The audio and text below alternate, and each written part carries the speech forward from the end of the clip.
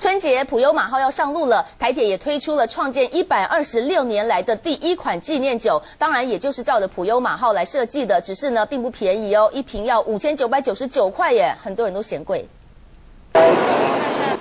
迷你普悠玛来喽！不过这不是装饰品，而是台铁新推出的纪念酒，开放民众试饮，就是想抢春节这档商机。这个时候推出来是为配合春节这个送礼的这个节日，跟我订的已经到十几对了。看得多，下单的少，因为这款纪念酒是和马祖酒厂合作，里头装的是陈年高粱，白色陶瓷瓶身会随着温度变色，四百毫定价五九九九，特价五三九九，两瓶一万块找一块，有民众觉得贵脏脏。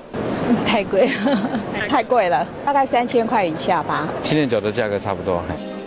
次推出的纪念酒还有六年的泰鲁格倾斜列车系列，是台铁创建一百二十六年以来推出的第一款纪念酒，未来在北中南还有台铁门市都有贩售。